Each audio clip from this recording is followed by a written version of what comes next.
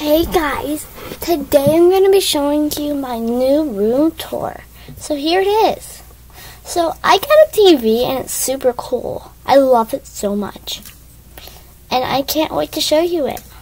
I'm going to show you my bed first though. Here's my bed.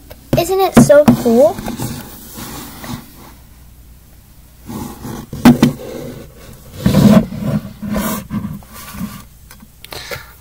Another really cool thing about my bedroom is that this drawer is a is now a little shelf. It has my piggy, it has my piggy unicorn.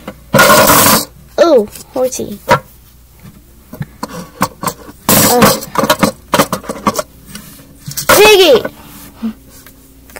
Piggy bank. So over here is my shelf, and as you can see, I have a TV. See it? It's right here. I love it so much. Whoa!